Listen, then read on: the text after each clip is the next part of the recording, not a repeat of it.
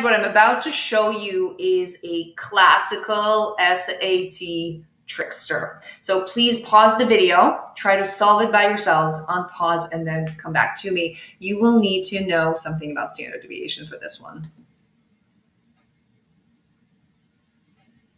All right.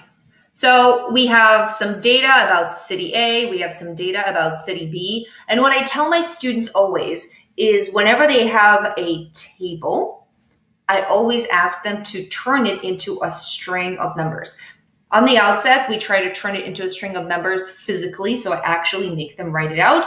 But then you can just kind of mentally imagine this. So on the test, it's counterintuitive to spend so much time and to turn it into a string of numbers. But here, we're practicing, right? You're on the you're not on the test. You're watching YouTube. So let's turn this first table into a string of numbers. So frequency three, the temperature is 80. And then frequency one, the temperature is 76. So let's go from lowest to highest. So it's going to be 76, 77, 78, 78. Then it's going to be 14 times 79. Just going to do 79, dot, dot, dot. And then 80, 80, 80. For a lot of my students, doing this this way just changes how they think about this chart because these are the values that they're measuring. These are the frequencies. Sometimes you can um, mix them up. Sometimes you can think that it was 80 times 3, 79 times 14. It could be very, very confusing. So now we have um, the string for one of the values, and they're asking you about standard deviation, about city 1 and city 2. And um, which one was larger, which one was smaller in the 21 days. Well, in order to estimate standard deviation, you need to calculate your mean. So here's what I'm going to do. I'm going to take my calculator and I'm going to count my mean. And mean is the sum of all of the values divided by the number of data points. I know there was 21 days, so I'm going to be dividing by 21, but I need my sum first. 76 plus 77 plus 78 times 2 plus 79 times 14 plus 80 times 3.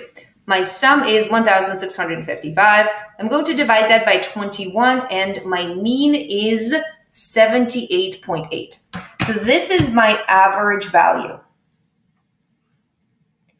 Let's see, how spread out are my values? Well, if my mean is 78.8, 14 out of those values are actually right next to the mean. They're like at 79, and there's a lot of 78. So I would say that the standard deviation for city A is pretty low. All most of the values are, are surrounding 78, surrounding the mean. Well, let's take a look here. The city B is very similar. So we have 76 six times, 77 four times, 78 two times. So let's actually calculate the mean. Let's not be lazy. So 76 times 6 plus 77 times 4 plus 78 times 2 plus 79 times 3 plus 80 times 6. The total sum is 1,637 I'm going to divide that by 21, and that gives me 77.95.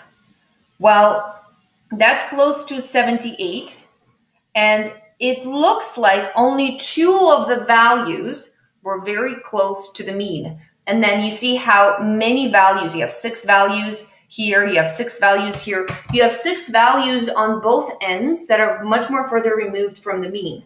So who's going to have a larger standard deviation? Which set is more spread out? It's B. And it's very um, tiny. It's not very obvious like we have seen in other problems. So the correct answer is that standard deviation of temperatures for city B is larger. And that's answer choice B. I'll see you guys in the next video. There is more trickery that SAT made up for us for standard deviation. I'll see there.